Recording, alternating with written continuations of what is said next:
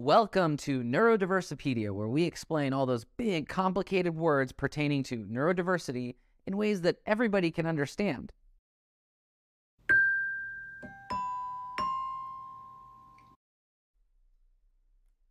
What is motor planning? It's like a roadmap for your body. It's like catching a ball without even really thinking about it because your brain said, oh my gosh, something is coming toward me and I need to catch it. Motor planning is oftentimes difficult for kids with developmental disorders like autism. Examples of things that use motor planning would be any kind of sport with hand eye coordination. Using an AAC device is also a great example of something that requires good motor planning. The reason that AAC devices need it is because when kids are learning how to use this language device, it's a speech device. We call ours a talker at Goally.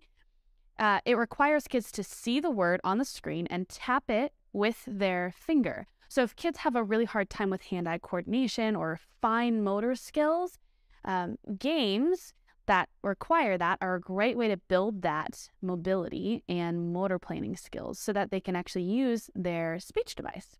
Motor planning is improved with repetition. So you'll notice in a lot of occupational therapy settings, there will be exercises or um, strategies that involve kids repeatedly doing uh, activities or exercises that require them to use fine motor skills or motor planning. Think about it like this when you sit down and type on a keyboard, you don't even notice that your brain is telling your fingers where to go. You just think the thoughts and oftentimes will type and it will happen. It's because you've repeated that motion so many times. You've built a roadmap in your body to tell you, I think the word thought, and I'm going to type the word thought at the same time.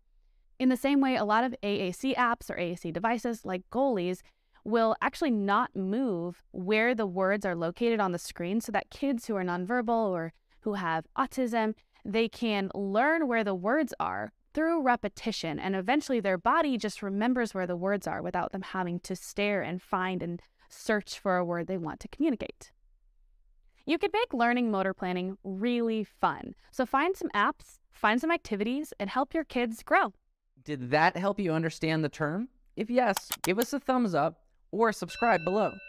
If it didn't, then leave us a comment and tell us why. What are we missing? We always want to do better. This is a project by Goally. Check us out at getgoally.com.